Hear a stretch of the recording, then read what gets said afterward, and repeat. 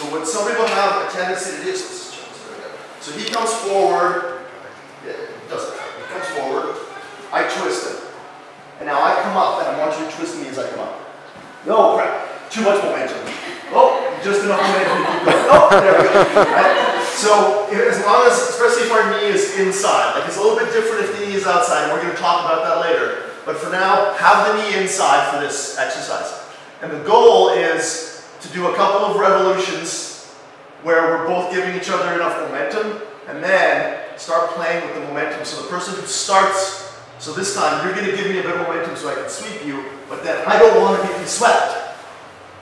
So I stop the momentum, with my hand here, and I keep my hip on this side. So like I said, do a few so that you know what it feels like to just keep going. But then, the person who's doing the sweep needs to do the sweep and then not give any more momentum just so you can feel the difference in your weight distribution. Does that kind of make sense?